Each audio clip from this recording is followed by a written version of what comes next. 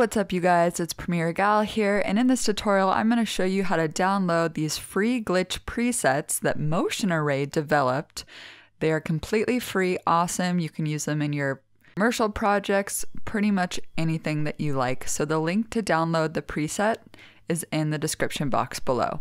So as you see here, I have the sequence from the opening that you just saw, but this does not have any glitch effects added to them. It's just the raw footage, which is from Pond5, by the way. I'm a member with Pond5. They have heaps of awesome video, 4K aerials, they have photos, illustrations, everything. So I encourage you to go check out Pond5. So how do you install presets? They're not transitions, they're presets. So what you do is you go over here to effects and you right click on presets. And here is where you can click on import presets. And then after you download the preset from the link in the description box below, you'll get this file that's a PRF pset. So you're going to click on that and you're going to hit open. I already have it installed, so I'm not going to hit open. So once you hit open, when you open up this folder now, you'll see that there's five glitch effects.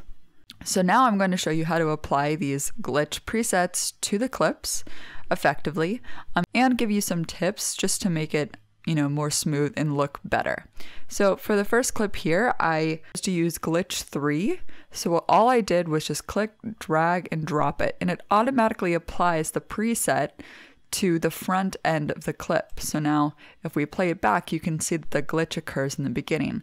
If you want it to occur in the middle or at the end, you have to open up each effect. You can see that there's um, many effects here. I think there's eight different effects to create this glitch. So what you'd have to do is actually open it up and then just literally highlight these with a rectangular marquee like so and drag them over to another location. So I don't want to do that, so I'm just going to hit Control Z. In the next clip, I used glitch 4, and all I did again was just drag and drop glitch 4 on the front end here. So because you'll notice there's black here, well, I want it to almost fade together like a transition. So what you need to do is actually just create a rectangular marquee, bring it up to video layer 2, and then just sort of overlap it on top. And so that way, when the glitch happens, you see the video beneath. You see video layer one beneath video layer two. So that way it's more smooth, right? And you can also apply these glitches to text. So this is just a text layer that I used with the new type tool. If you haven't seen my new essential graphics panel on how to use this type tool, you should definitely check it out. So for the text here, I use glitch number one. So I'm just gonna click and drag that over here and it applies it to the front.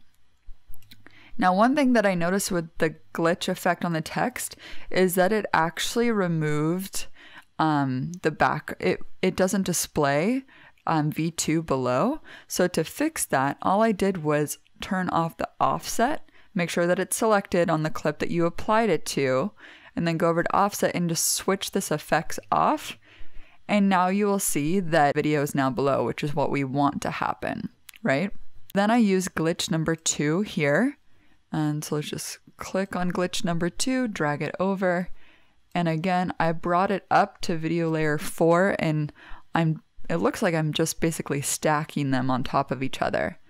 And you'll see that this glitch kind of has this wave warp effect and you can see it over here that wave warp effect was actually used and so by using this it's really awesome because you can actually see how these glitches were built and maybe in the future you could start building your own. And actually, it was funny, somebody actually told me that this effect actually makes it seem like they have a migraine. Like some people that have migraines actually see these waves. So, just a warning for people that get migraines, it may have some bad memories associated with that wave warp.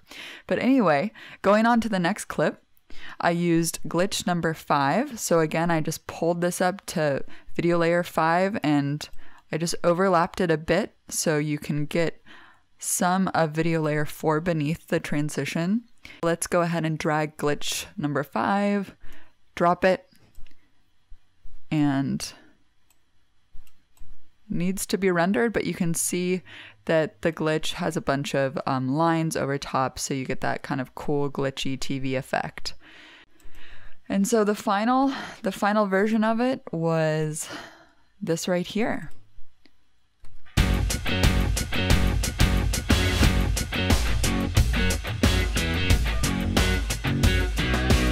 So that's it, you guys. I hope that you guys found this glitch preset tutorial useful, and I encourage you to go to motionarray.com and check out their freebies and their paid plans. They have heaps of great templates from After Effects to Premiere Pro templates to music that you can use in your projects. They're great. So, you know, if you guys have any other tutorial requests, I make tutorials based on what you guys want. So go to premieregal.com slash tutorials and leave your requests there. I make new video production tutorials every week and if you guys want some freebies from me that you can use, you can go to patreon.com slash premieregal. And if you donate $5 or more, you will get a free freebie, a free freebie each month from me. So thanks so much, you guys, and I'll see you guys next week. Bye!